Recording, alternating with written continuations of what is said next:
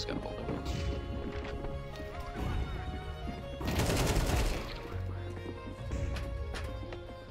Who's throwing this, right?